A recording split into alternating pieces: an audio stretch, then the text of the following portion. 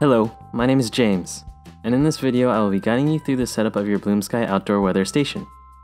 Before we jump in, let's go over what you will need. To properly set up your device, you will need three things. An iPhone or Android device with a Bloomsky app, an account with Bloomsky, and a 2.4 GHz internet connection. Your Bloomsky unit cannot connect to a 5G network.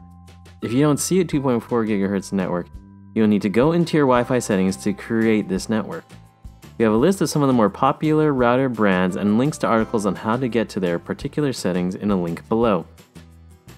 Before we start to set up the device, make sure that your device is close to the router, plugged in, turned on, and Bluetooth on your smartphone enabled. We recommend being within 5 feet of your router.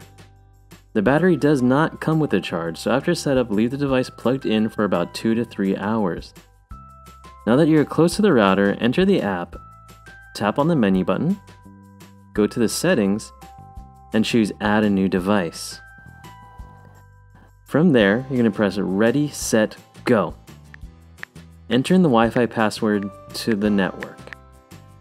Notice that we display the network that you will be connecting to. It will connect to the Wi Fi signal that your device is currently on. To switch to a different network, simply go to your phone's Wi Fi settings and switch it there. Once you press enter, your device will try to connect to this network. And you're connected. Now name your device. This name will be displayed and be searchable to other app users. Now you can set up your device outside so it can start taking hyper accurate local weather readings. Congratulations, you've successfully set up your Bloomsky device.